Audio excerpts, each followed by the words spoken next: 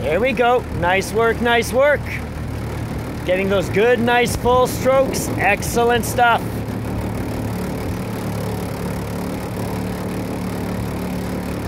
Excellent. Keeping the blades nice and shallow. That means the hands nice and low through the drive.